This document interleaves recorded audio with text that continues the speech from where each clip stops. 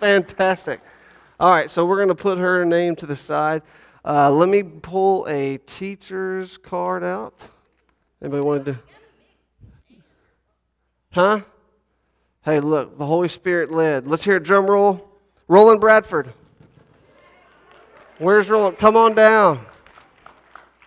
All right, now Debbie's going to have you got more people back there. So if you're in here and you did not fill out a card, just follow Debbie and she'll help you get squared away because we're going to be giving more books out. So we are going in the order of the stack, Roland, and I want to just say a little bit about this book you're getting. It's called How to Read the Bible for All It's Worth. It's co-written by guys named Gordon Fee and Douglas Stuart. Out of curiosity, anybody heard of this book? Yeah, it's a pretty prominent, very popular book. It has a companion volume that we'll be giving away later on. But this book here basically gives you some essentials and basics on interpreting the Bible. So there you are. You are uh, the proud owner of the, How to Read the Bible for All It's Worth. All right, fine. Thank you very much. Oh, and by the way, I am trusting that if you're a winner and you accept the book, that you will cherish it, that you will not throw it in your car trunk and leave it there, that you will soak it up. And so uh, I'm hoping that this will be good opportunity for all of us to kind of resource ourselves. Okay, that's our first round of giveaways. We got three more throughout the night. Let me tell you a little bit about how uh, I want tonight to feel, how I want it to go. Um, I am aiming for a calm atmosphere, relaxed atmosphere. I want us just to take a deep breath.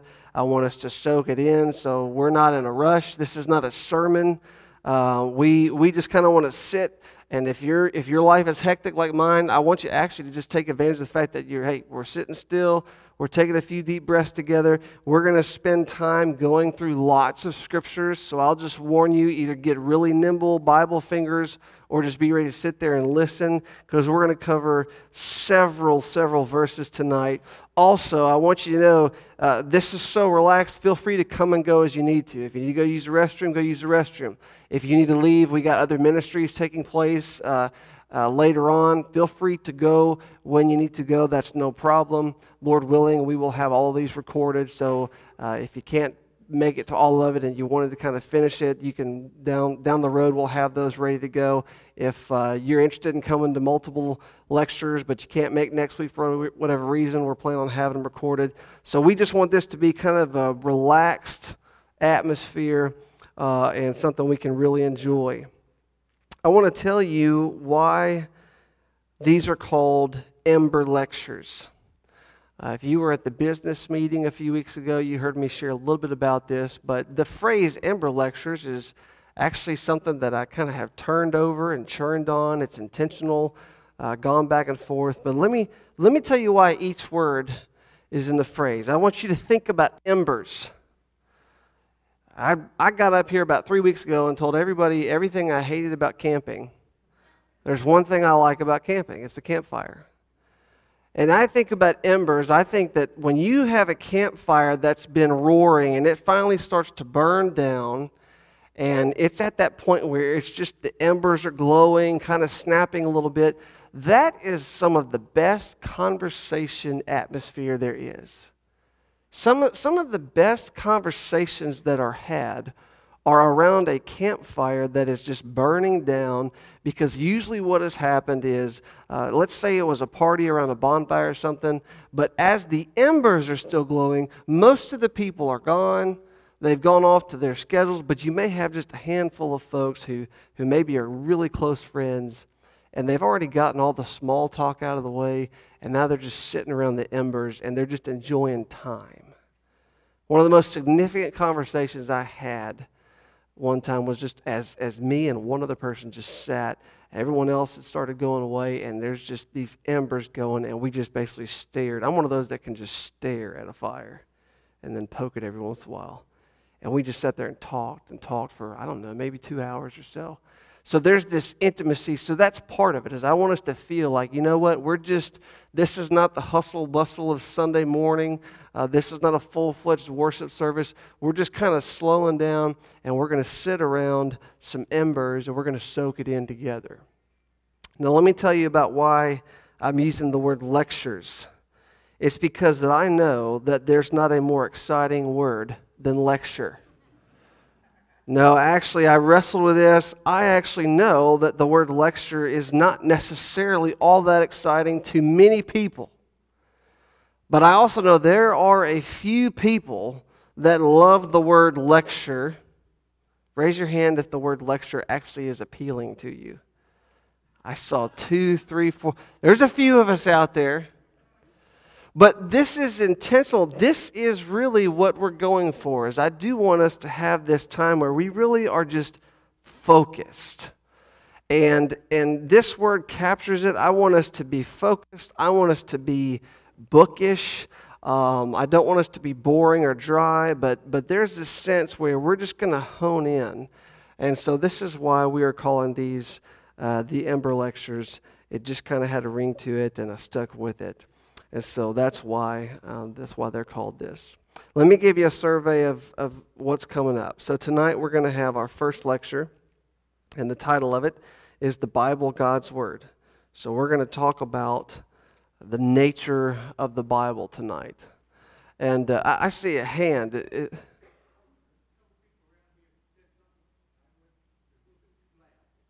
okay, I'm a little too loud. I think someone can hear me who can fix that. I wondered if I'm a little too loud. So if someone can hear me, they could. Uh, I don't know if they can hear me in the room or not, but I'll try not to just yell too. Watch this. Is that a little better? Can you hear me? No. They said I'm a little loud. Is that a little better? All right, that might be a happy medium right there, Betsy. All right, thank you. Uh, so tonight we're looking at the Bible, God's Word. Let me go ahead and tell you a little bit about what the uh, next three lectures are going to be. The second one next week is going to be about interpreting the Bible. We're going to talk a little bit more about how do we just really uh, interpret it, soak it in, study it up. Uh, the third week we're going to talk about teaching the Bible, and then the fourth week uh, we're going to talk about the Bible as a whole and as its parts. So, more about really kind of wrapping back around to the idea of the nature of the Bible, the composition of the Bible, and so on and so forth. And, and as a reminder, before we pray, we are all guinea pigs. So, I cannot emphasize that enough. Let's have fun with this and let's see what God wants to do through it. So, with that being said, let me pray and we will get started. Also, if you didn't grab an outline, everybody grab an outline on their way in. We do have a simple outline that you can fill in blanks and so on and so forth. Uh, and I trust many of you brought notepads and stuff like that. So let's pray. So, God, I thank you uh, that we can take some time and just sort of uh, take a deep breath together around your word. And God, I do ask that in so many ways, uh, what we experience is like sitting around a campfire that is giving us light and warmth and is drawing community together and fostering uh, not just small talk, but, but deeper conversation, even if it's just deeper thought. And so, Lord, use this for those purposes. And, and just bless this time. We thank you for the Bible. We, we do know that this is a gift you've given to us, and we also confess together that uh, we haven't always cherished it like we should. We never really will we need you to be gracious to us because you have revealed yourself to us through your word.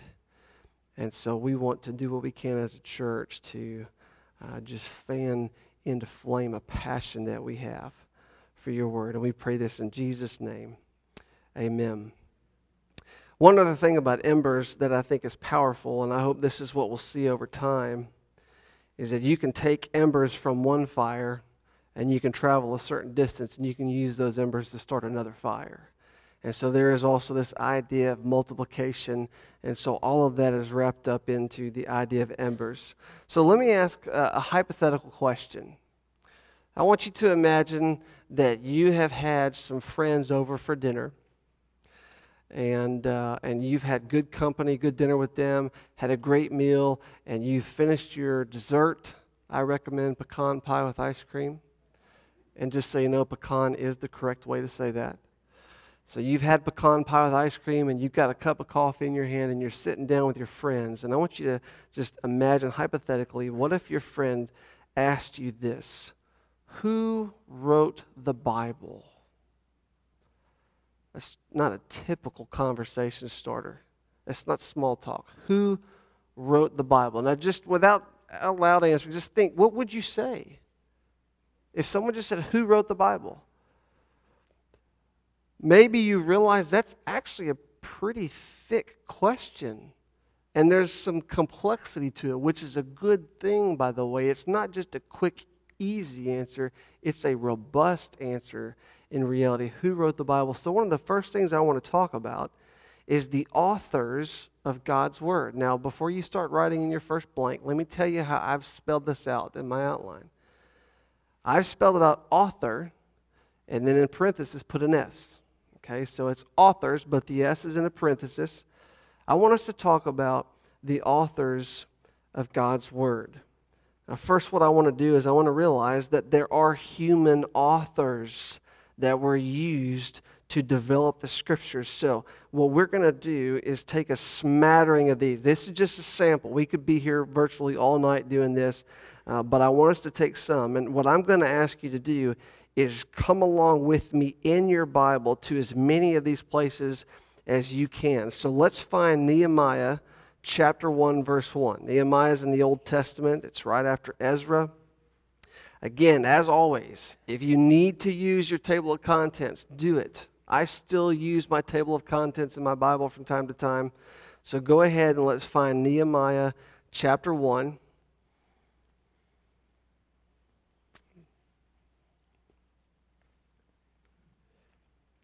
And I'm going to read the very first sentence.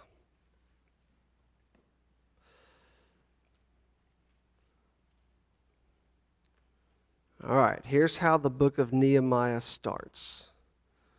The words of Nehemiah, the son of Hacaliah. As a sidebar, do you know how to read Old Testament names that you don't know how to pronounce? Just read them with confidence. the words of Nehemiah, the son of Hacaliah. I just want us to see, I want us to slow down around the embers, so to speak, enough to look at one sentence and to see that these are the words of a man, a specific man named Nehemiah. Now let's also look at several of these in the Psalms. Find Psalms chapter 3. We're going to look at a bunch of these. You, I think you have them all listed on your outline in, in reference form. Psalm chapter 3.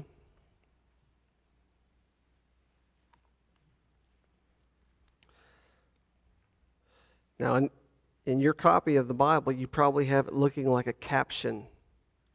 You notice these captions over certain Psalms in Psalm chapter 3. The caption says, A psalm of who? David. A psalm of David when he fled from Absalom, his son. Just so you know, this is not this is not like a, a title caption that the publishers, that the, in our case, I'm using the ESV, this is not a caption that the publishers put in there. This is in the Hebrew text. Okay, the a psalm of David. Let's, let's find a couple more examples. Let's turn to Psalm 72.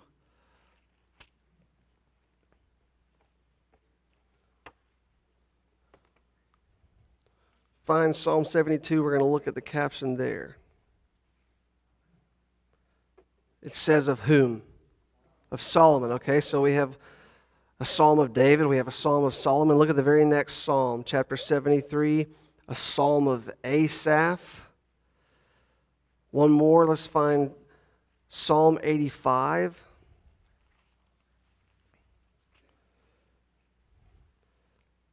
All right, this one has an interesting detail to the choir master, a psalm of the sons of Korah. So now we have multiple authors, so to speak, this song that I guess was written by these sons of Korah. So now we've seen David, Solomon, Asaph, the sons of Korah. Uh, you may all have already known that some of the Psalms are identified like this, but we're being told about authors, lyricists, writers who are involved in the creation of the books of the Bible. Let's go to Proverbs, Proverbs 1.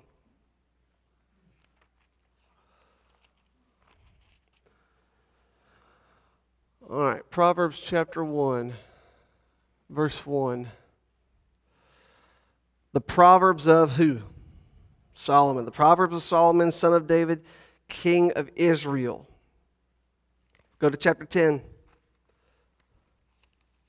I told you we're going to be finding a lot of verses, and I'm doing this with you, by the way. I'm not cheating, even though I have a lot of these written down. I'm coming with you in the Bible here. Proverbs 10, verse 1, the Proverbs of Solomon, okay, reminding us there's, there's a source to this. Let's go to chapter 25.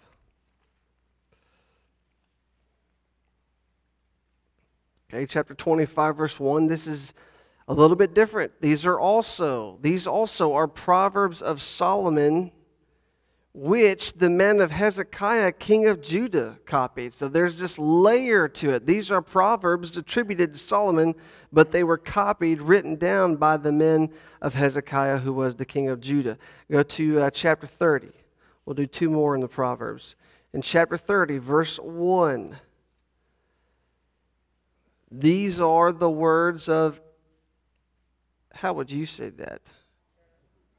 Excellent. Sounded perfect. Agur, I guess, son of Jacob.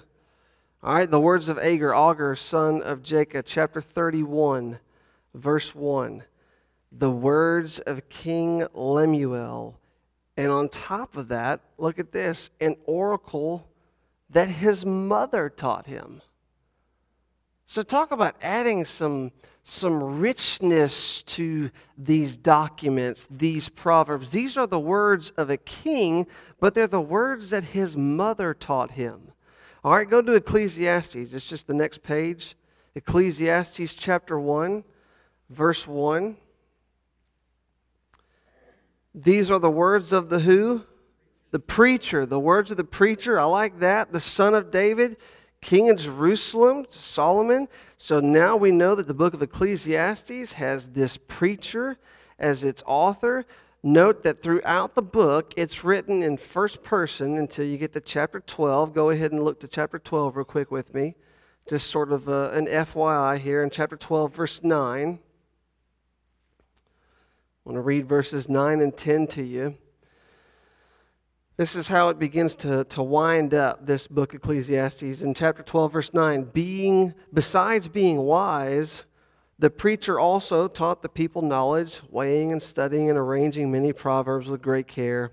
The preacher sought to find words of delight, and uprightly he wrote words of truth. Again, just elaborating on how this preacher was involved with writing things out, studying things, thinking things through, and teaching others. Uh, let's go to the book of Isaiah. Just keep flipping forward a little bit. You'll find Isaiah in chapter 1, verse 1.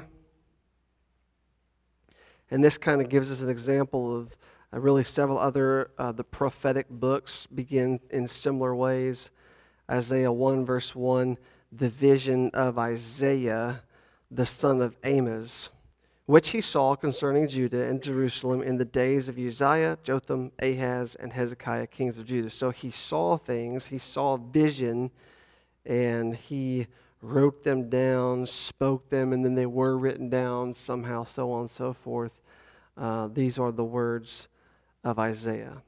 Okay, so those are all examples of new of Old Testament documents showing in some form or fashion their human author source. Let's look at some New Testament examples.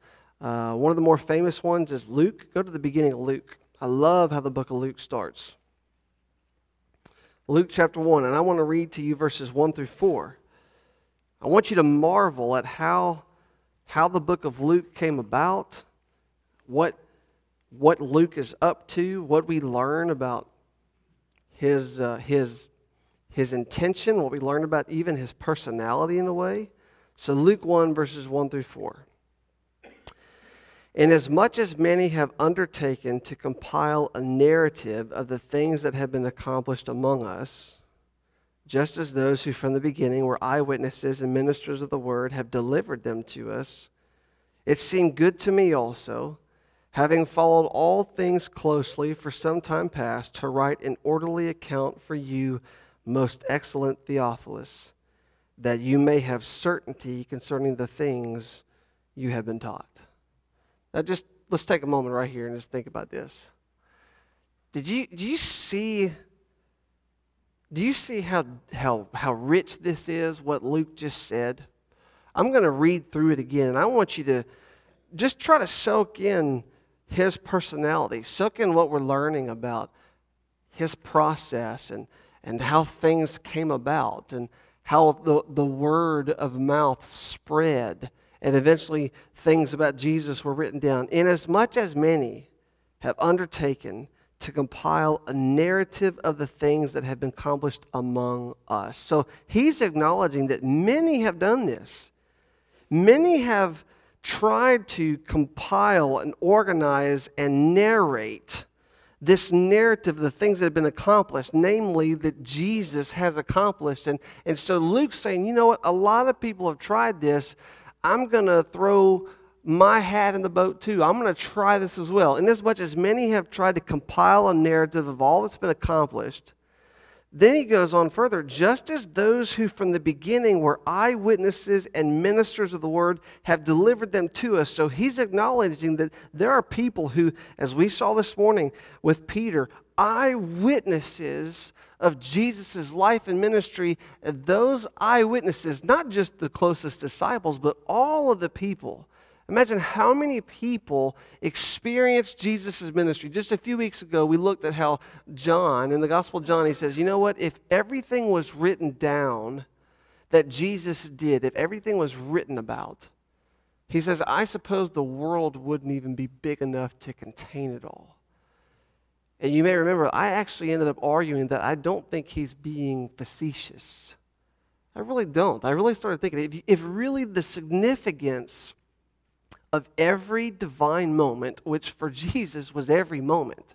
Every moment, every interaction was a moment between God and a human. If every one of those moments was written out and all of its significance was elaborated on, you may not be able to hold it all. And, and still, there are these attempts. People are trying to put all this together. Now, let's go here what they have to say and let's let's go hear what these people have to say and let's try to figure out this and let's try to remember how this played out and all that. I'm just i'm just speculating here. All of these attempts to compile a narrative uh, as eyewitnesses had delivered them.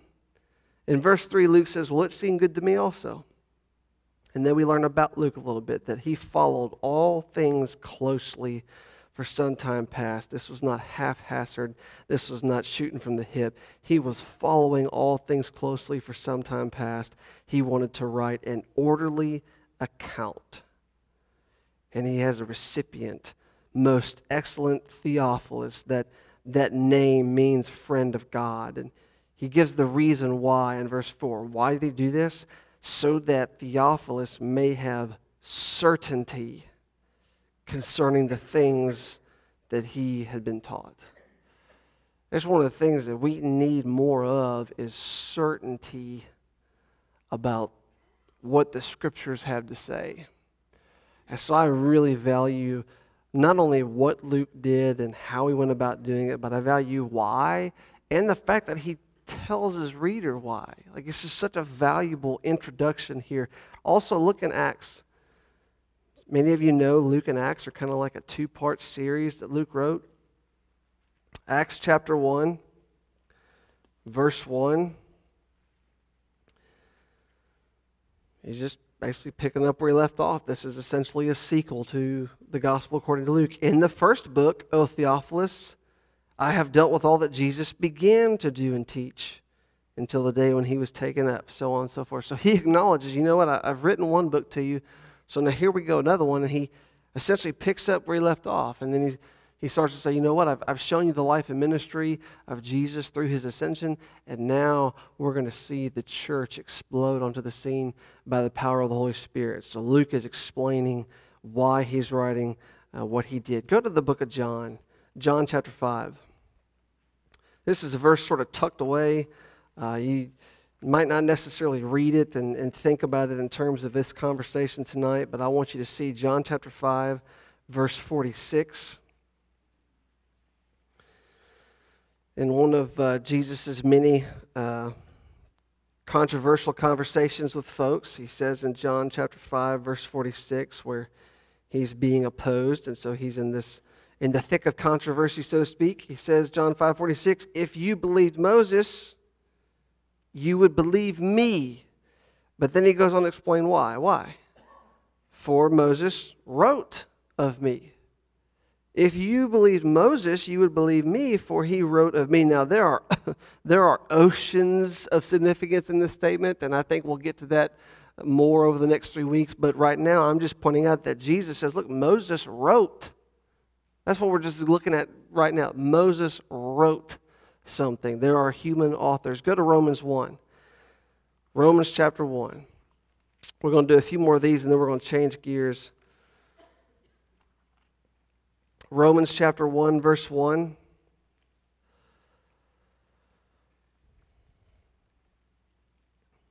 All right, look at how the book of Romans begins. The letter to the Romans. Paul, a servant of Christ Jesus, called to be an apostle, set apart for the gospel of God. The very first word is identifying the author. He's writing a letter, he wants them to know who it's from. Paul. This is who it's from. Now, go to the very end of the book chapter 16, verse 22. This is something that's interesting just for us to be aware of. In chapter 16, verse 22, look what it says I, Tertius, who wrote this letter, greet you in the Lord. So Paul's using some help here, right? Uh, there's a word amanuensis, someone who could help write something. If you dictate something to somebody and they're, they're writing it down, a stenographer.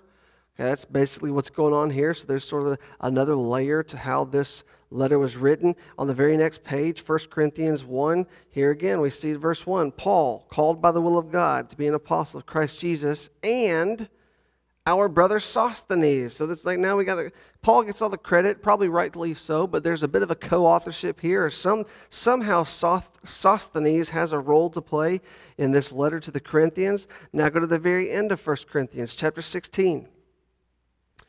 Chapter 16, verse 21.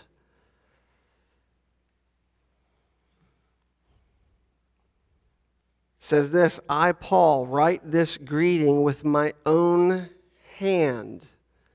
The best we can tell. Sometimes Paul would dictate something, but he would make a point to write out the closing. He wants them to know this is, this is me. I, Paul, write this greeting with my own hand. Okay, we're going to come back to that idea in just a moment, so kind of hang on to that. Let's look at James chapter 1. We're just going to keep going forward here. James chapter 1, verse 1.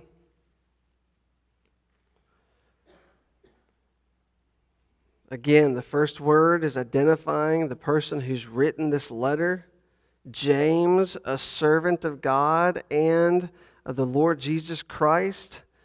And then one more example. We're going to finish in the book of Revelation, which is just fascinating seeing how this human author, what kind of role that this human author named John played in the writing of the book of Revelation. So in Revelation chapter 1, verse 1, we're actually going to read several verses in this. So kind of follow along with me. Verse 1 The revelation of Jesus Christ, which God gave him to show to his servants the things that must soon take place. He made it known by sending his angel to his servant John, who bore witness to the word of God and to the testimony of Jesus Christ, even to all that he saw. Blessed is the one who reads aloud the words of this prophecy, and blessed are those who hear and who keep what is written in it, for the time is near. And then verse 4 begins by saying, John to the seven churches that are in Asia. So he begins to address these churches. I want you to skip down to verse 9 with me. Let's read verses 9 through 11. I, John, your brother and partner in the tribulation and the kingdom and the patient endurance that are in Jesus, was on the island called Patmos on account of the word of God and the testimony of Jesus. I was in the Spirit on the Lord's day, and I heard behind me a loud voice like a trumpet saying, write what you see in a book and send it to the seven churches to Ephesus and to Smyrna and to Pergamum and to Thyatira and to Sardis and to Philadelphia and to Laodicea. Now, isn't it fascinating that this is how the book of Revelation came into being?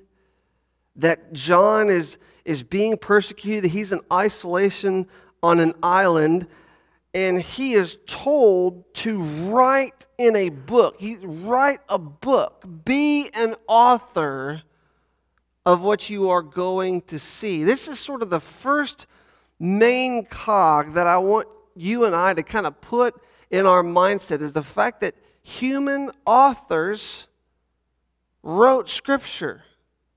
It's important. This, this is very, very important. And in fascinating ways, you see in different ways. Some were songs, some are letters, some, some are these revelations that probably, in John's case, even boggled his mind. And he just has this extraordinary experience where he's he's visited with this angelic vision and Jesus himself appears and he writes all this stuff down. Or you have a king that just learned something from a mom. It almost sounds like maybe it was like a, I don't know, a bedtime story or something that, that he just learned. And, and now we find it in the book of Proverbs. And you have a historian type mentality in Luke who's like, you know what? I need to get in on this. I need to make sure there's an orderly account written of the things that have taken place before people mess it up or it gets forgotten or whatever. He's, he's so orderly and he's intentional. There's all these different personalities, and they were all used to write Scripture. But they were not the only ones involved. So I want us to know, and I want us to celebrate that not only were there human authors, and we only looked at some of them, by the way we could have looked at all of them. I didn't know if that would go over real well. But there is a divine author to Scripture. Absolutely bedrock conviction that we have to have. There is a divine author. It wasn't just men writing, it was, it was God writing this book. I want us to go to 2 Timothy chapter 3.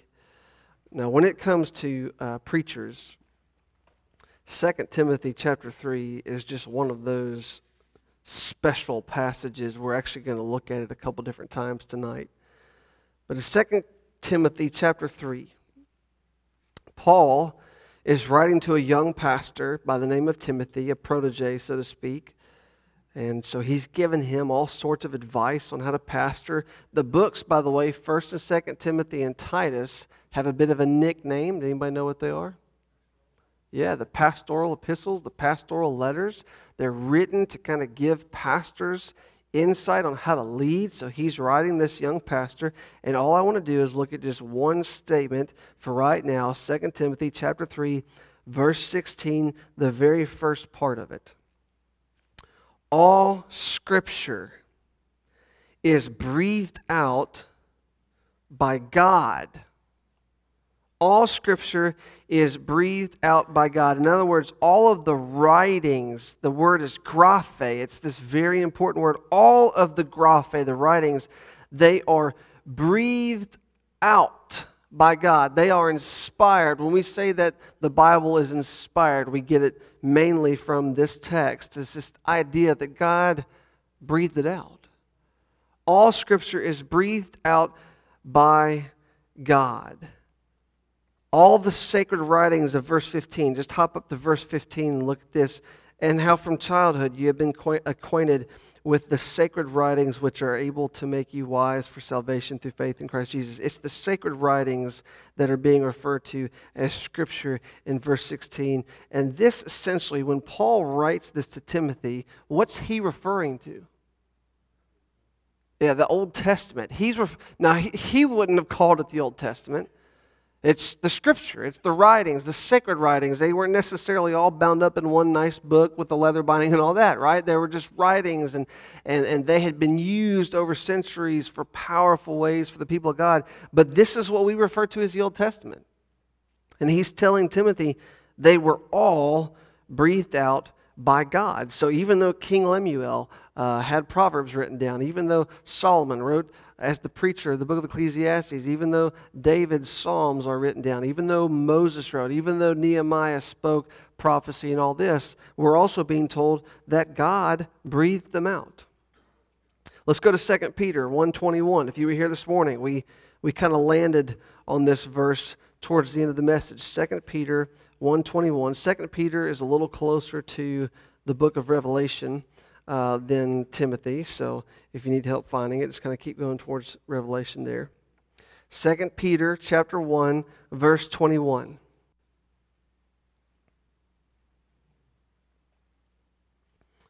This is what Peter says.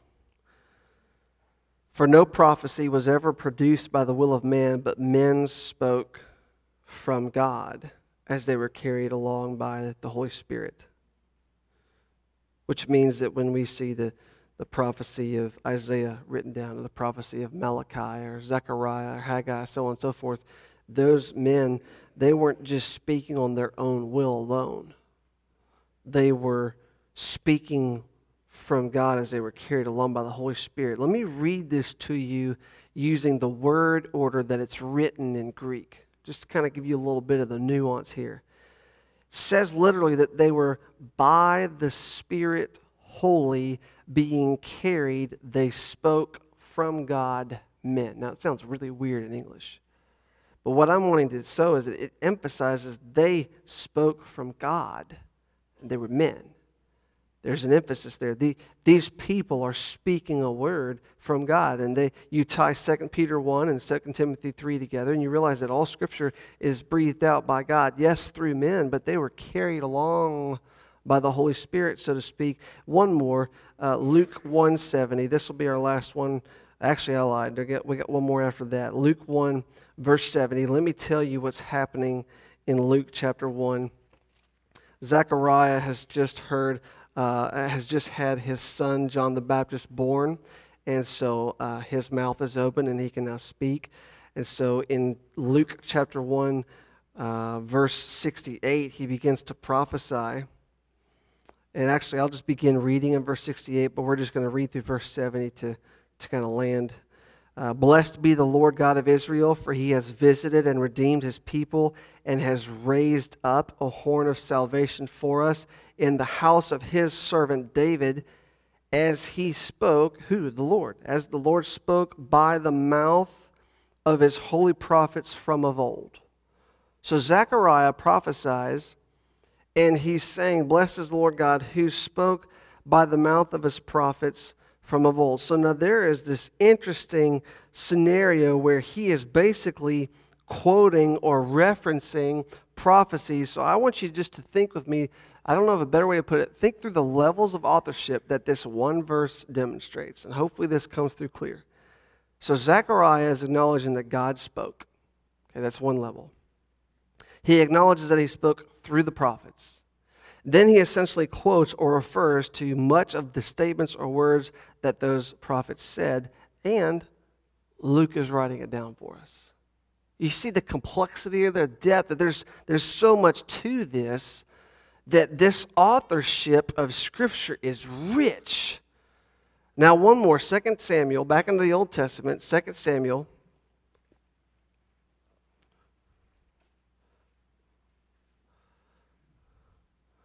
Take your time finding it because it takes me a little while too. I'll tell you a tip while, uh, while we're all looking, looking to find 2 Samuel chapter 23. And while you're finding 2 Samuel uh, 23. I remember several years ago, a guy explained to me how you can remember the order of the books of the Samuels, the Kings, and the Chronicles. First, Second Samuel, First, Second Kings, First, Second Chronicles. They get less personal. Samuel, Kings, Chronicles. So that's just like extra, y'all. Okay, like that's that's good stuff. I never forgot that. It's like ah, like I never forgot uh, General Electric Power Company. Anybody else heard that? Galatians, Ephesians, Philippians, Colossians. I remember in college, General Electric Power Company. I've never forgotten that. That's like one of the most valuable things that I've ever heard. So this isn't even on the outline. This is just the Holy Spirit inspired that moment right there. 2 Samuel 23, verse 1 and 2 says this Now these are the last words of David the oracle of David, the son of Jesse, the oracle of the man who was raised on high, the anointed of the God of Jacob, the sweet psalmist of Israel. Let me ask you this. Can, can this emphasize any more that a human being is involved? Look at it's the last words of David. That's his name. It's the oracle of David, repeats it. He's the son of Jesse. I mean, this is a specific person. It's a man raised on high, anointed of God, the psalmist. This is a person involved. And look what he says The Spirit of the Lord speaks by me, his word is on my tongue. So you've had your pecan pie and you're drinking coffee, and your friend asks you, Who wrote the Bible? Who wrote it? Is it not awesome? Isn't it good that it's not just a simple answer? Now there is a there is a clear, quick God inspired the Bible. Absolutely. We hang on to that, we cherish that. And yet, how he did that by his sovereignty, his plan, his ideas, he he used people. He used David, like the David who's the son of Jesse, who happened to be musical. And he used Luke, who happened to probably be less musical, if I'm guessing, because he was much more methodical and intentional and all this stuff, and, and, and seems sort of book nerdish and all of that. All of these things, who wrote the Bible? God wrote it. He wrote it by inspiring men, and it is, it is God's word. And yet there's this objection that I, I want us to wrestle with. Someone could say, well, isn't it circular reasoning to say it's God's word because it says it's God's word? I just told you that there's a divine author to this, and how did I back up my claim? I turned to you a few verses in the Bible that said God inspired it, that the Holy Spirit carried men, uh, that David said, I was speaking by the Spirit of the Lord. That's essentially saying it's God's word because it says it's God's word. And not everybody's going to buy that explanation, right? Not everyone's going to say, well, oh, fine, you can believe that, but that sounds like circular reasoning. Well, here's what I want us to think through. How do you know that a letter is from somebody. Now, when you receive a handwritten letter, how do you know that the letter is from a particular person? It's signed, it's got a signature. If a letter has a signature that you recognize from someone, then you know it's from that person. It is a signature. We all write in a, a particular way. Now, let me just tell you if you get a letter from me and you can clearly read my name, someone may have forged it.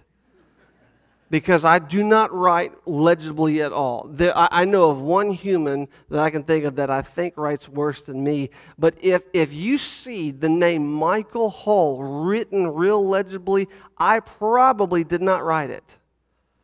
But if you see my signature, it's going to have a little tilt to it and a little scribble scrabble to it, and you might pick out the M and the H, and, sometimes when I write a bunch of letters, I get nervous and my M gets all squirrely and all that. But my signature has a very distinct look. It's just not real legible. I want you to find Second Thessalonians chapter 3 real quick. There was an idea that I said to kind of hold on to that Paul Paul talks about how he signs his letters. So find Second Thessalonians chapter 3 verse 17. You guys, man, you guys have been warriors flipping through the pages. In just a moment, you're going to get a break. And a little tease, there may be Snickers involved. Just saying.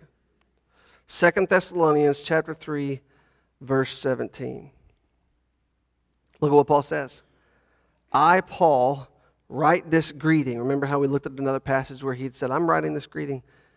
I write this greeting with my own hand.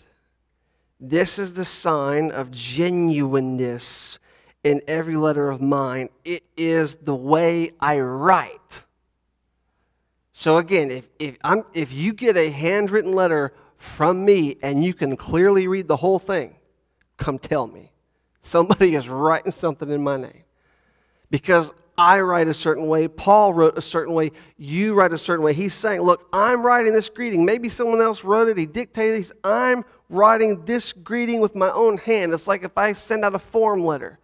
I want to make sure people can read it. I type it out, but then I'll sign copies of it. This is my signature. This is what Paul's doing. I'm writing this with my own hand. This is the sign of genuineness in every letter of mine. It is the way I write. We know that a letter is from someone by their signature. I want you to go to Hebrews chapter 1 with me. Hebrews chapter 1.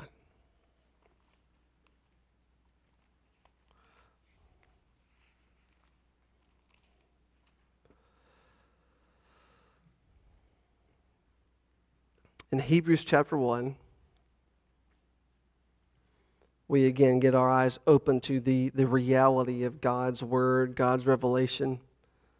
This is one of the more breathtaking uh, introductions to a book of the Bible. Hebrews chapter 1, verse 1 long ago, at many times and in many ways, God spoke to our fathers by the prophets. That's just reiterating everything we just looked at. God spoke to people by the prophets. But in these last days, he has spoken to us by his Son, whom he appointed the heir of all things, through whom also he created the world. He, Jesus, the Son, he is the radiance of the glory of God and the exact imprint of his nature, and he upholds the universe by the word of his power. God has already given us his signature. It's Jesus Christ. So, so there's this word here where it says he's the exact imprint. This word in Greek is character.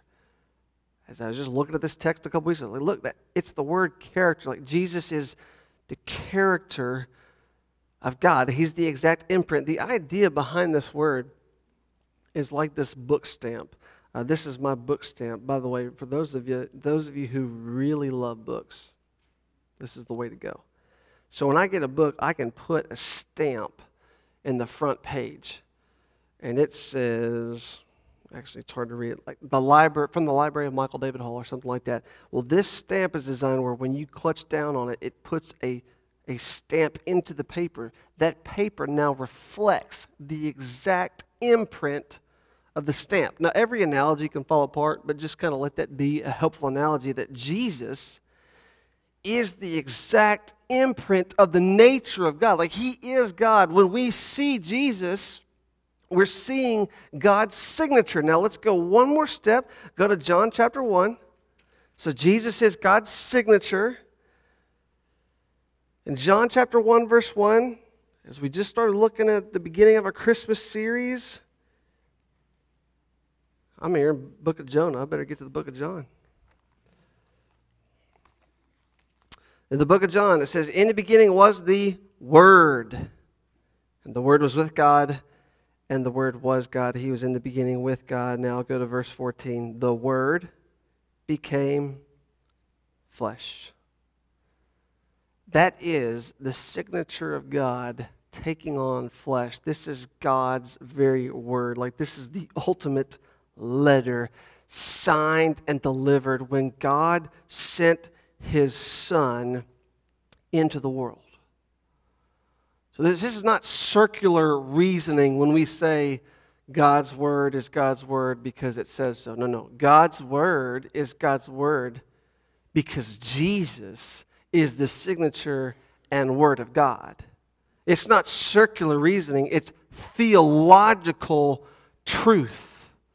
And so we go to John chapter 14. Just stay in the book of John. Go to chapter 14. I want you to see verses 25 and 26. And then we're going to take a breath. We're going to take a break here in a moment. Not a break, but just we're going to take a breath. John 14, verse 25 and 26. So I want you to see that God sent His Word, who was with God in the beginning, the eternal Word. God sent the Word as flesh, incarnated Jesus the Christ. And on top of that, Jesus in chapter 14 is getting his followers ready for him to be gone. What does he say? He says in chapter 14, verse 25, These things I have spoken to you while I am still with you. The word of God is saying things to his followers. He says, But the Helper, the Holy Spirit, whom the Father will send in my name, he will teach you all things and bring to your remembrance all that I have said to you. And so Jesus' promise is fulfilled, as we recall 2 Peter 1 21, because men carried along by the Holy Spirit wrote down God's Word.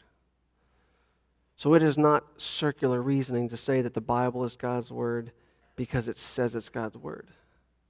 The Bible is God's Word because God has revealed Himself ultimately through Jesus Christ, the Word of God, whose very Spirit, after He ascended, inspired, breathed out, and has completed what we have in the Bible.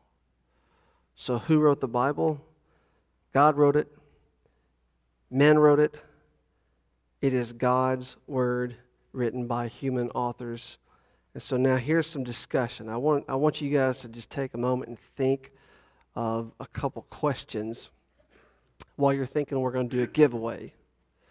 And I do want you to think about it, and I want to hear maybe a couple responses here. Got, got just a couple places where I want to hear some of your thoughts. So, my first question is why does it matter that the Bible has a divine author who used human authors? Just think about that question. Why does it matter that the Bible has a divine author who used human authors? Maybe take a moment and write some thoughts down uh, while you're thinking about it. Why does it matter that the Bible has a divine author who used human authors? And how does the dual authorship, okay, that's a, that's a phrase that we'll use. How does the dual authorship of God's Word inform how we read it and inform how we apply it? So I want you to be thinking about that. Let's do another giveaway. Debbie, you ready for some more giveaways? Did everybody put their name in a bowl? All right. Did anybody put their name more than once in a bowl? You can come forward and repent. So. So, just as a reminder, I want you to be thinking about why it matters. Why does it matter the Bible has divine author who used human authors? And how does the dual authorship of God's Word inform how we read it and apply it? All right, so while you're writing and thinking, let's do a giveaway. Which color is which again? Yellow? All right, I'm mixing it up, BJ. Nice and mixed. All right, Pam Tootin, come on down. I saw you over here. Come on down, Pam. Everybody give her a round of applause. She is getting a copy of the gospel centered teaching showing Christ and all the scripture. Let me say this. I, and maybe this goes without saying, but I do want y'all to hear this from me. Uh, read books, thank you. Read books critically. Like, you don't have to agree with everything written in it. I'm not saying that because I disagree. I think it's a great book, very helpful. It just needs to be said. I don't necessarily agree with every line written in there, and even if I disagreed, I wouldn't necessarily tell the authors. They probably have a reason uh, for what they wrote. But use these as resources, as tools. And let's see here. One of our teachers, Cade Strickland. Is he still in here? Oh, man. Well, tell him he missed out. He can come back next week, try again. But we appreciate his ministry. Kaylee Huntsinger, is she in here? Yes, come on down. Give her a round of applause, everybody. Now, this book is the companion volume to what Roland got by Gordon Fee, Douglas Stuart, called How to Read the Bible Book by Book. So, this is kind of like a reference work where you can, if you're studying Genesis or Psalms, so on and so forth, you'll have it? Excellent. Thank you very much. That is fantastic. One of the reasons that I'm actually telling you about these books is if you're interested in buying some, uh, go ahead and get them. You know, if you don't win the if you don't win the giveaway, you can get these. I buy tons of books, so they're always there, ready to go. All right. So uh, I would love to hear some thoughts, and you get rewarded for bravery. Why does it matter that the Bible has a divine author who used human authors. Now, let me go, before I hear any answers, let me just tell you I do not have an answer typed out. I don't have an answer prepared to go. I just want us to think about this. There, there's like a billion things we could probably say. I just want to hear some fresh thoughts. So don't be like, oh gosh, wonder what he's. There's not necessarily one thing I'm waiting to hear, but but why does it matter? My all right, first thing I saw, Alan. Yep,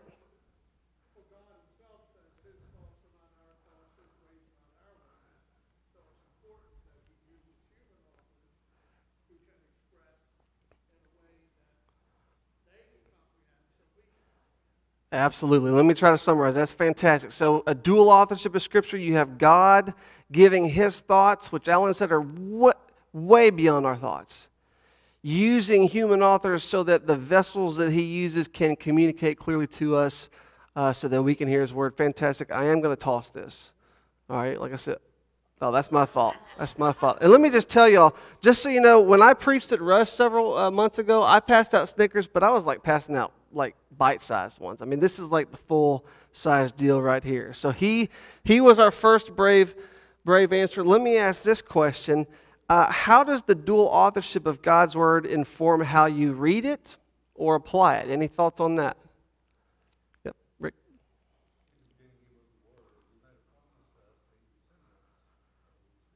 Yep.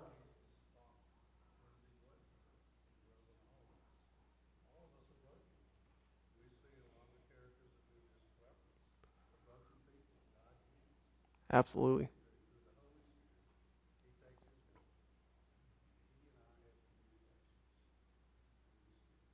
Absolutely. Let me, let me just summarize fantastic for those who may not be able to hear that God, using His Word that He wrote and inspired through human people who were all sinners just like you and me, shows that He can have the kind of relationship with us that is intimate, uh, that is growing, and He uses His Word to do that. As we read it, you also talked about how we read, when we read Scripture, it's a Holy Spirit moment right? It, we believe that the Holy Spirit that inspired the Word of God also is continually illuminating that Word for us as we read it, or Lord willing, as it's preached or discussed in Bible studies. Uh, fantastic. Thank you, Rick. All right, now I got. My baseball career was, was, was years ago, so I'm not as accurate maybe as I should be. I've got four more Snickers, but we're going to just have to hold off, all right? So, for those of you who are hangry, I'm sorry, we're just going to have to keep going. Uh, we'll pass out some more in a moment. That, that really is the first of three parts tonight. I think maybe it's the one that's going to take the longest as a reminder. If you need to go, go ahead and go. Uh, we are not going to be real strict on, you know, staying or whatever, so just do what you got to do. I want to talk now. Our second main part is I want to talk about the attributes of God's Word. We've talked about the authors of God's Word. Now I want us to talk about the attributes of God's Word. Now, what we're going to do is we're going to again flip to several verses, not quite as many, but we're going to let these scripture passages tell us what the attributes of God's word are, okay? So so first, let's go back to 2 Timothy chapter 3 verse 15. Let's go ahead and take a moment, find 2 Timothy chapter 3 verse 15.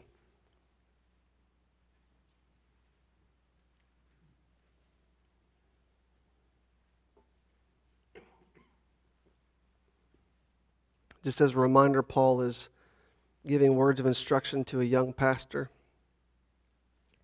Actually, you know what I'm going to do? I'm going to start reading in verse 14, 2 Timothy chapter 3, verse 14. As for you, continue in what you have learned and have firmly believed, knowing from whom you learned it, and how from childhood you have been acquainted with the sacred writings which are able to make you wise for salvation through faith in Christ Jesus. Now, there are, there are two attributes that I want us to pull from verse 15. Number one, these are sacred. The Word of God is sacred. These are sacred writings. And they are able to make wise for salvation. They are able to make wise for salvation.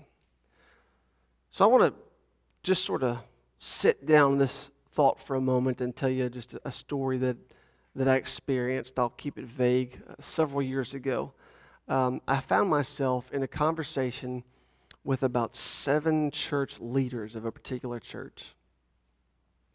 And in this, in this conversation, it was actually a very tense conversation.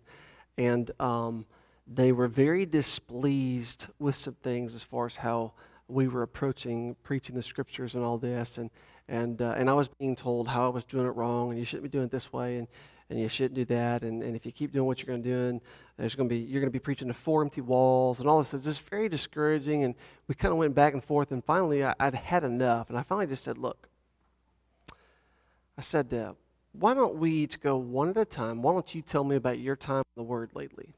Because uh, I'd had it. I'll, I'll, be honest, I'd had it. And we had gone over. I was being, I was being uh, ridiculed for we were reading, like having scripture readings in, in the Sunday morning service, just time where we'd read a section of scripture, and some people didn't like that. And so I said, why don't we, why don't we go to the room? I want you to tell me about your time in God's Word. I mean, if you're going to be telling me that I'm not doing the ministry of the Word correctly, then let's at least talk about what your experience with the Word is. And so I started to my left, and, and, and to, to this man's credit, he was honest. He said, honestly, I haven't spent much time in it. And so I went to the next person, and they hadn't spent much time in it. And I went around the circle. I got to, I think, the second to the last person.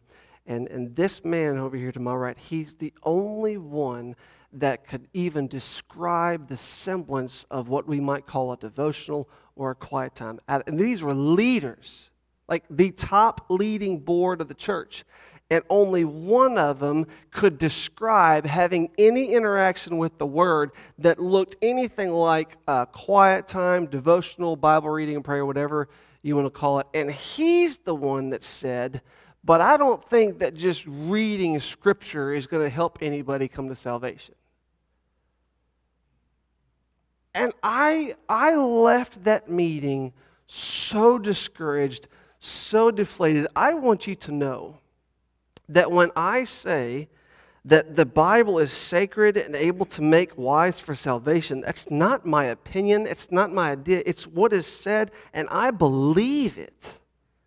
I believe that the mere reading of Scripture can be powerful enough to bring someone to salvation because this is God's word. This is God's revelation. This is what He has to say to us. And so that can be used. Hold on just a minute. Hold is it a question? You have a question? Okay, just, just hang tight just a moment, and because we're going to have some discussion a little bit, might be a better time for him to do that. So I firmly believe that the reading of Scripture as sacred writings breathed out by God is able to make someone wise for salvation. It is the tool used to open eyes. Now, I'm not saying every worship service should simply be Bible reading. Obviously, we don't do that here. We do more, right? There's more that God has designed. But I want you to know that I really do believe that the Bible is sacred, that it is powerful, that it has new life power. It has resurrection power, salvation power in it. Why? Because God spoke it. Because the human authors were carried by the Holy Spirit. By the way, they didn't let go of their personalities. I mean, no, they have all their personalities. It's just this powerful, miraculous moment, and it makes these writings sacred and able to make wise for salvation. Now let's go to 1 Peter chapter 1, just so uh, if you're in 2 Timothy, flip forward a little bit. 1 Peter chapter 1, verse 23 and 24. Again, we are just kind of looking for attributes of God's word. 1 Peter chapter 1 verse 23 and 24 look at what Peter says. He says, for all flesh is like grass, and all its glory like the flower of grass. The grass withers and the flower falls, but the word of the Lord remains forever. And this is the word, and this word is the good news that was preached to you. So the attribute is uh, it is living, it is enduring.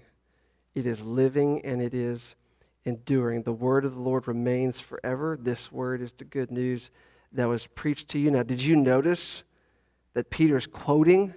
Y'all see the quotation marks there? So let's go ahead and maybe hunt this down. Flip to Isaiah chapter 40. Isaiah chapter 40, verse 8.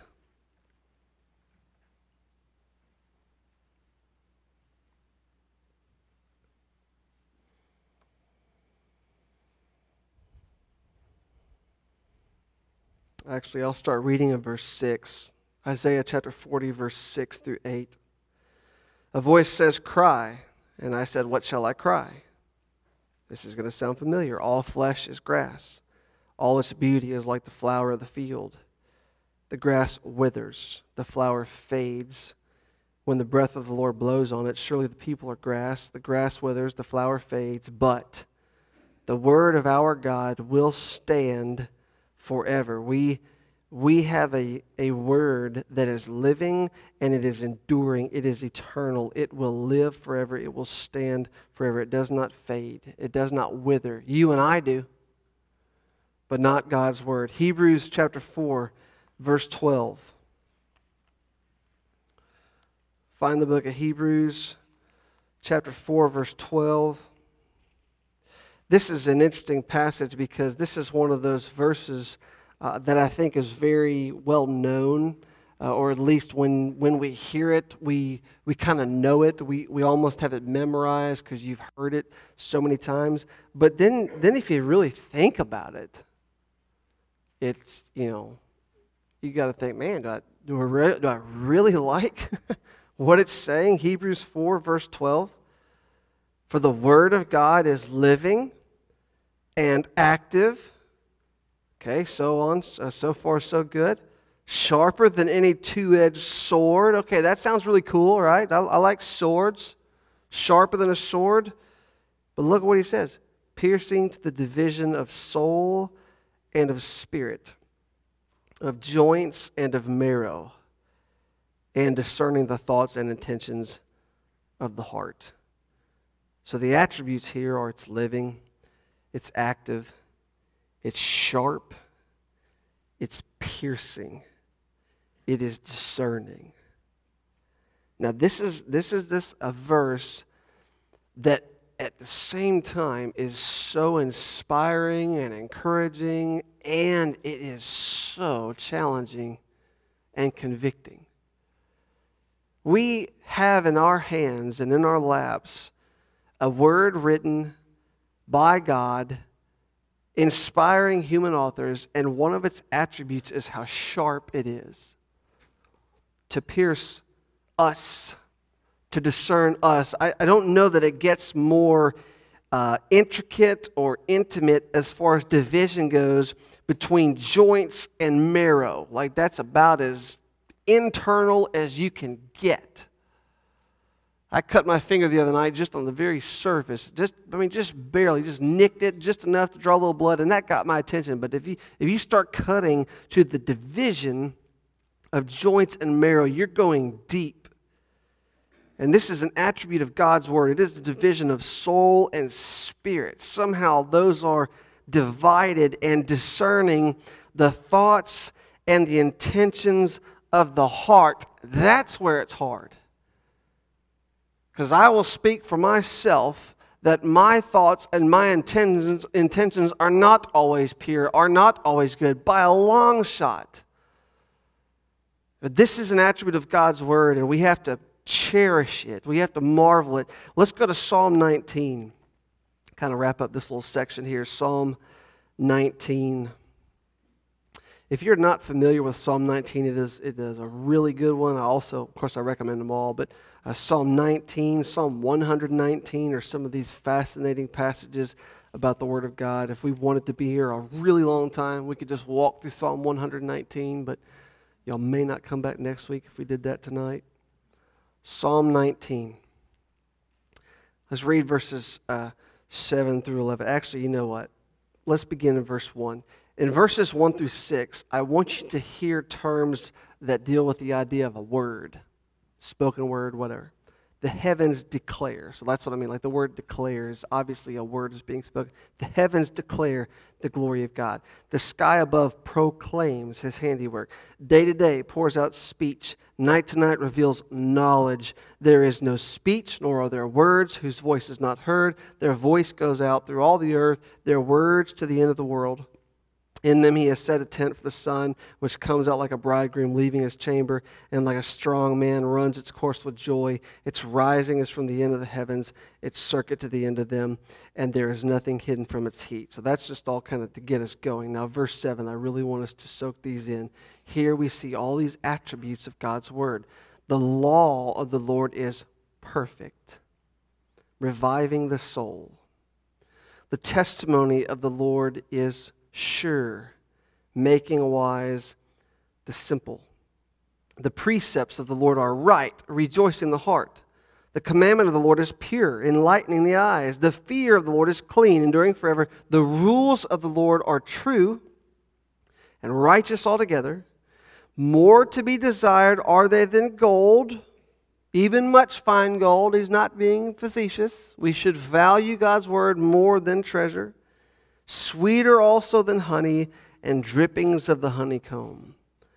Moreover, by them is your servant warned. In keeping them, there is great reward. So, the psalmist, in this case, it's David, we're told there, Psalm of David gives all these names to the Word of God the law, the testimony, the precepts, the commandment, the fear, the rules. And all of these descriptions, these attributes perfect, sure, right, pure, clean, true that is like a profound list of attributes. But notice, he also gives us descriptions of its use to revive the soul and make wise the simple, and to rejoice the heart and enlighten the eyes. It endures forever. It gives you something that you would desire even more than gold. These are descriptions of its use, and that's what we're going to get to in the very last part of tonight's lecture is really the, the use of Scripture. So before we get there, we're going to have some discussion. So Cheryl, I want to hear uh, what you had to share in just a moment. Let me go ahead and just kind of revisit our general question here. How do the attributes of God's Word inform how we read it and apply it. And Cheryl, you got a Snickers coming your way. And I can try to get it to you from here. Like there's a restaurant that throws rolls. I could try that. But, but for right now, ponder it. But we're going to come to you first, okay? But I want you guys to ponder the idea how do these attributes, sacred, able to make wise for salvation, living, enduring, active, sharp, piercing, discerning, and all these descriptions in Psalm 19, how do these attributes of God's word inform how we read it and apply it. If you want to, go ahead and write some thoughts down so you don't forget it. We're going to do another giveaway. So let's see here. We're going to we're going to mix up our yellow bowl and our Pat Ayers. Is Pat? There you are. I'll come to you with it. Give Miss Pat a round of applause, everybody. you've got a brand new copy of Gospel Center Teaching. I didn't even stamp that one with my book stamp. By the way, if y'all want to come up and look at my book stamp later, you can. This thing is awesome. All right, one more teacher here. We have Kim Mitchell, everybody. I don't know Kim. Do y'all know Kim? Let me tell you what Kim does. Kim preaches to our kids, so we're going to put our arm around her. She teaches these kids, and you know what they're doing? They're hearing the gospel. We have a book here. This is called From Chaos to Cosmos. Subtitle is Creation to New Creation. Let me tell you what this is. This guy, it's by a guy named Sidney Greidanus, okay? Now, for what it's worth, Sidney Greidanus is like in my research. Like I'm using a lot of his stuff for my dissertation. And so he's a biblical theologian. He's written a book that basically studies the idea of creation all through the Bible and how it goes from chaos to cosmos, how God is recreating the world. So it's, it's a cool little study there. So thank you very much. Y'all give Miss Kim a round of applause. And I also I want to say this. I love seeing that our children's teachers are here. There's not a more fertile ministry. Okay, God is doing powerful things. Uh, that is the most evangelistically fruitful ministry. When you're teaching kids, uh, they believe everything you say. So don't you dare tell them about the tigers, okay? You just leave that to yourself. So. Okay, so our question is basically how do the attributes of God's word inform how we read it and apply it? And Cheryl, I want you to go ahead and share uh, what you had just a few minutes ago, if you don't mind. That's fine. Go ahead. I, I know I stalled you. Well, you gotta, you gotta get your name pulled out. Rules are rules.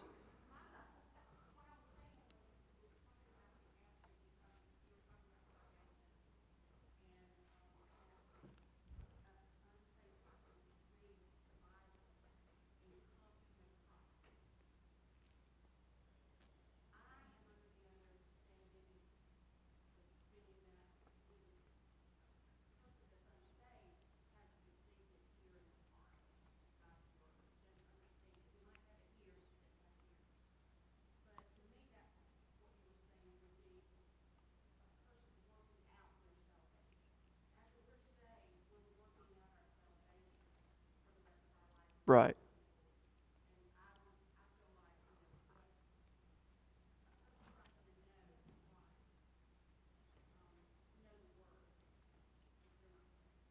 Right, and I wouldn't disagree that. What I would actually say is it, it's really both and.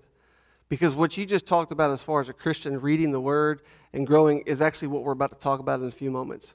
But what I would argue on top of that is that the Word of God the Scriptures, the writings are powerful because they're inspired by God. So that, do what?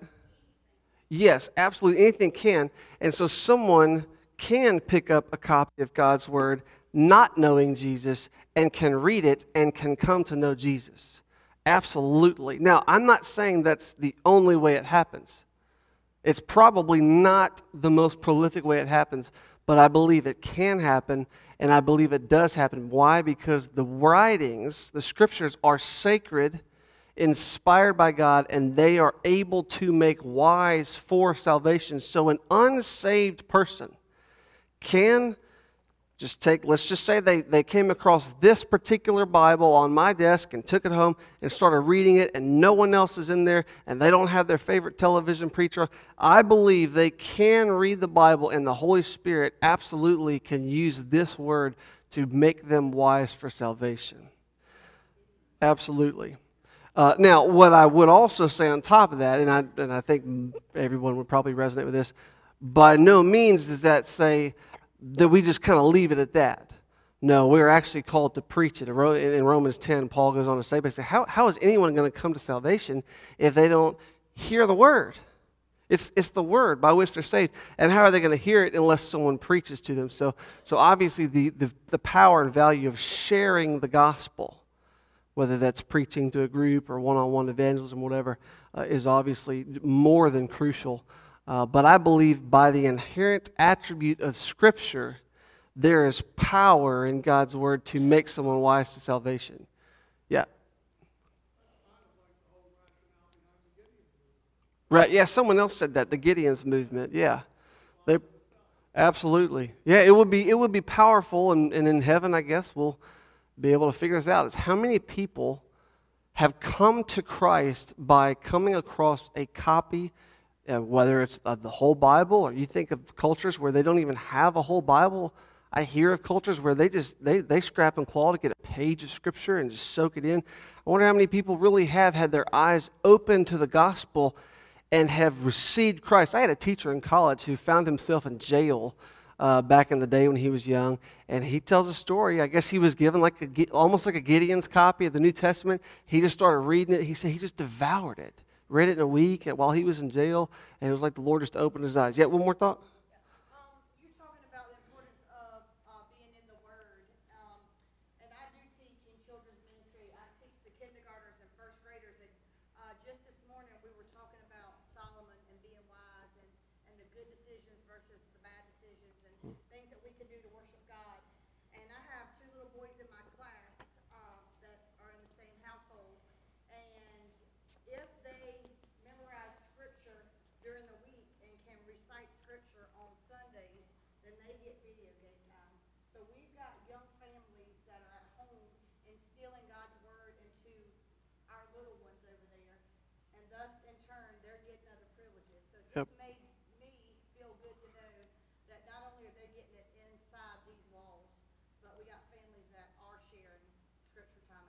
Yeah, absolutely. Thank you. How about one more thought, really, just on how the, the, the attributes of God's Word affect how we read it and apply it? Yeah. Say that one more time. Praise the Lord. Can you, can you kind of summarize, or how did you come across it?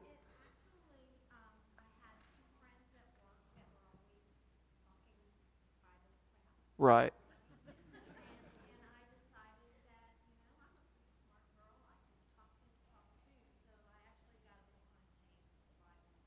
Very cool. Praise the Lord. Listening to the book of John. Was it a cassette tape? Yes. If God can use a cassette tape to bring someone to salvation, that's a powerful word. Praise the Lord. That, that is, that's the word we're talking about. That's why we're spending time on a Sunday afternoon while I know football's on, although the NFL's not as important as college football. But, but this is why we're here looking at it because it has that kind of power, these kinds of riches, because it's not exaggerating when it says that we should desire it more than gold. It's not exaggerating when it says it divides to the thoughts and intentions of the heart. This is powerful stuff, and it's, it's because God breathed it out. It's because the Holy Spirit inspired it. Now, what I want to do is I want to finish up by talking about the applications of God's word. In other words, how, how should we use it? What not not really how we should use it. I need to rephrase that. This is not how we use the Bible. This is how God uses his word. You'll see the distinction there. Okay, how does God use his word? What are the applications of God's word? First, I would imagine many can already guess. I believe you have a blank here. It's creation. The word of God was originally used, or at least when we first come across the idea of the Word of God, it is used for nothing other than creation. So just for just well, let me let me read Genesis one verse one. In the beginning, God created the heavens and the earth. Verse three, and God said, "Let there be light." Verse 6 And God said, Let there be an expanse in the midst of the waters. God said this. God said that. He called it good. It is the Word of God creating. In John 1, in the beginning was the Word, and the Word was with God. The Word was God. He was with God in the beginning, and all things came into being through Him. There wasn't one thing that was made that didn't come through the Word of God. The Word of God is used by God to create. Now, I was getting ahead of myself for a second. Now, let's just stop, take a step back. Creation pretty much sums it up, right? In the beginning, God created the what? The heavens and the earth. That, that's basically like everything. Everything. God's word is used to create everything. Like there's nothing that exists, there's nothing that happens that is independent of the Word of God. Nothing. Even, even God Himself, He's this eternally existing Word as the second person of the Trinity. He is God the Word. Like the Word is everything. God uses His Word for creation.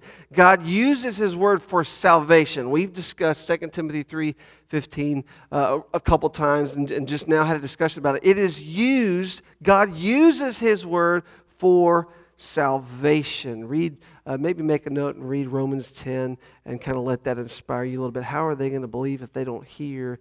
They need to hear the Word of Christ. How are they going to hear? If they don't have preachers? And how are they going to preach if they're not sent? And so on and so forth. God uses His Word to create, to save. Creation, salvation, and finally sanctification. Now, here, I do want to go to 2 Timothy 3 again. We're going to look at verse 16 and 17. So, creation, salvation, and sanctification. 2 Timothy chapter 3, verse 16 and 17.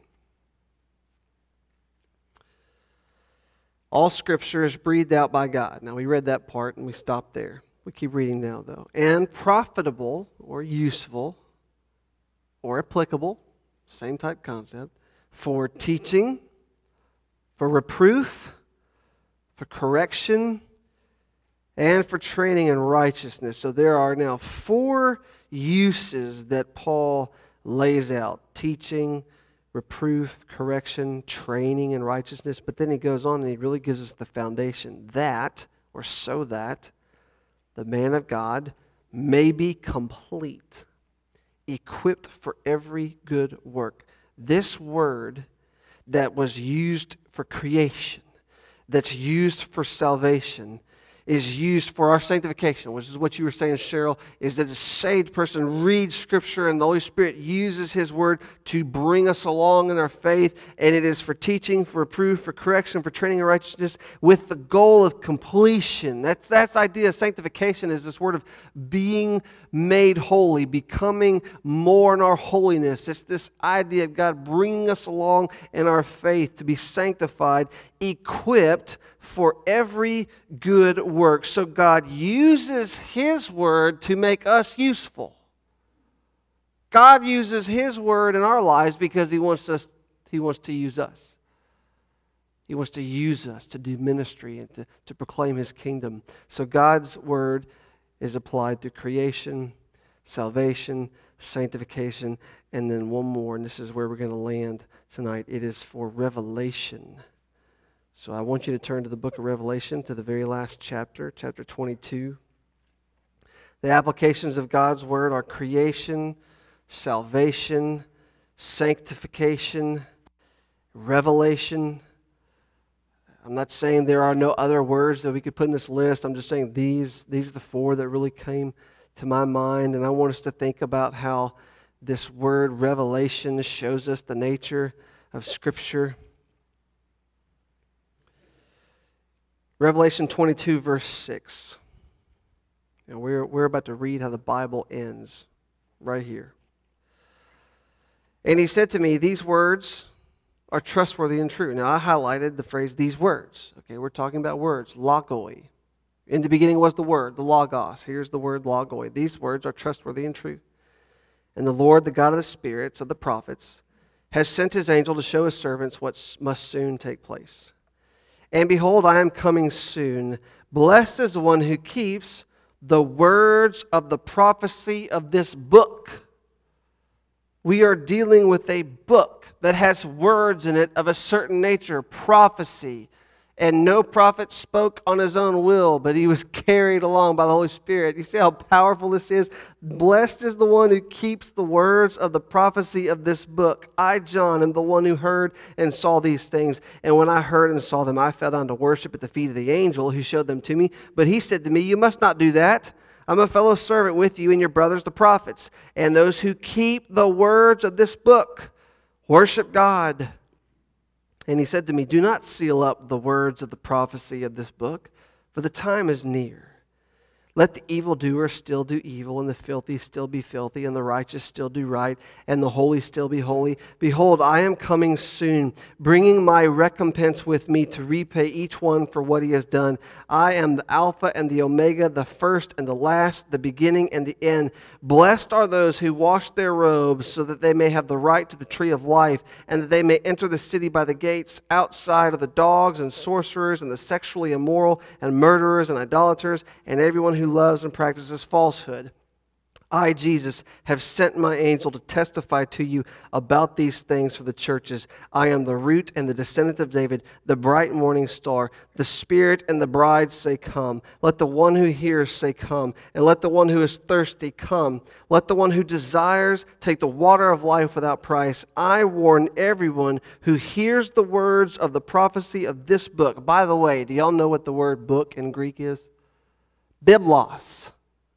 Word Bible just means book. Blessed whoever hears the words of the prophecy of this book. If anyone adds to them, God will add to him the plagues described in this book.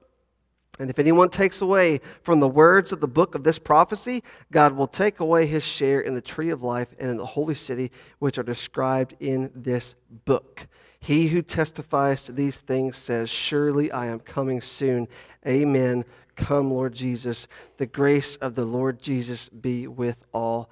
Amen. And that is how the Bible ends. I got to be honest, I, I have read Revelation multiple times. I remember, uh, just like King Lemuel, maybe with his mom, I remember laying on bed at night, uh, on the bed at night, while my mom read to me from the book of Revelation, the description of the new heavens and the new earth and all this stuff. But it has never occurred to me until recently how much the emphasis is on the words of the prophecy of this book. God uses his word to reveal to reveal himself, to reveal his plan, what he's about, to reveal what he's going to do. Does he show us everything? Absolutely not. We cannot comprehend God's fullness. We cannot understand his complete plan, and we sure cannot understand every detail of eternity moving forward. But he is revealing to us, he is showing to us by his word, by this book. Now, I just want you to think how do these applications of God's word inform how we read it and apply it? If God uses his word for creation, salvation, sanctification, and revelation, then how does that inform the way you're going to read it tomorrow and the next day and the next day? How does it inform how you're going to apply it? I want you to take a moment, think about that, write some thoughts down. We're going to have our final giveaway of the night. So we'll pull one of our yellow cards here. Susan Johnson. I saw you right in the middle, right? All right. Everybody give Susan a round of applause. You are the proud new owner of Gospel Centered Teaching by Trevin Wax, showing Christ and all the scripture. Now, this morning I hinted that it might be new cars and paid off mortgages that you'd be getting tonight, but I trust y'all are more satisfied with these books. And our final giveaway for the night. So, just to be clear, if you come back next week, we're going to be doing giveaways each night. I'm so excited about Carol Smith. She just left. Oh, the heartbreak. The heartbreak. Yeah, bring on Brandon Pelfrey, everybody. All right, Brandon. Let me tell you about this book here. You're going to like this. Brandon's a book guy. This is the concise Bible commentary edited by David Dockery. David Dockery is the president of uh, my college. And so that's a very helpful kind of a one volume commentary. I still use my copy of it quite frequently. Do you? I don't. Excellent. I've been actually looking for a commentary to, to dig on. The Lord will provide right there. Give him a hand, everybody. All right. If God uses His word to create and save and sanctify and reveal mostly himself, then how does that inform how you're going to go about reading it? Yeah, Michelle. Yeah.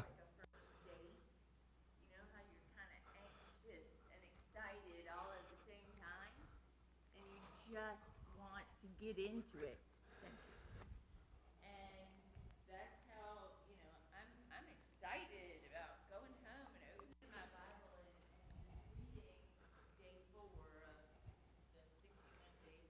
Oh, awesome. Awesome. So let me just summarize this for those so everyone can hear, and also it helps for the recording. She, she says basically, when we know that God's word is this powerful, especially the ideas of it sanctifying and revealing himself to us, there is an anticipation, there is an excitement that when we go to him in his word, that he's going to do stuff in his life. He's going to, to show himself, to show us things. Uh, that's a fantastic, fantastic thought. Thank you very much, Michelle. Something else, Brandon?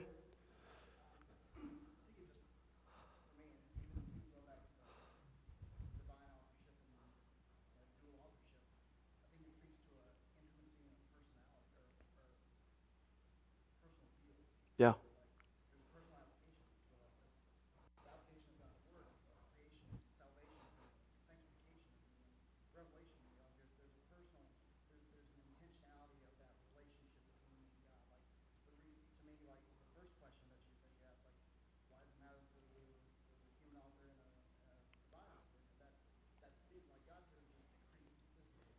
Right.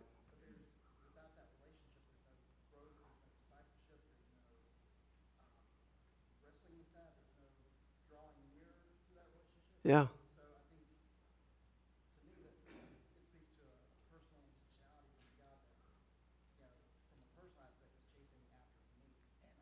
Absolutely. That is, that's snicker worthy right there, sir. That's fantastic. Let me summarize what he says. He keyed in on the idea of relationship, which while you were talking, we're going to give you credit. It, that's a great word to kind of summarize these applications. Think about this God created us. He uses His Word to create. We are created by His Word. God saves us. He brings us into relationship. He brings us into being. He brings us into relationship through His Word. He sanctifies us. He grooms our relationship. He is at work in our life, and He is consistently and will eternally be showing Himself to us, revealing us. That, that is what relationship is all about. Uh, which is why you get excited about going to it, Michelle. And so that really is the perfect thought to kind of end on is that we have a God who's given us a word for relationship. And it is it's powerful. It's not just to make us feel good. It's not just so that we don't feel lonely. It's because the God who created everything and created you wants you to know him. And he wants you to know him more and more and more. And here's one one one final thought and then I'm going to wrap it up. Yeah, Brian?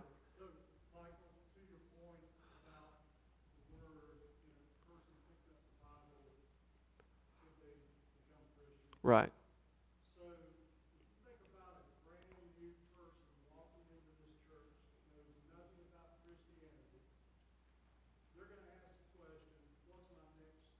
Right. Yep.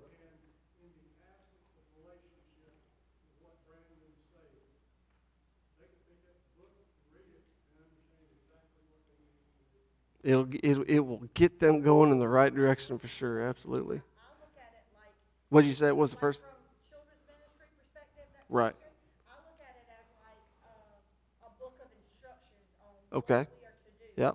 And then as far as applying it, then you take what he's instructed us to do and you put action to it.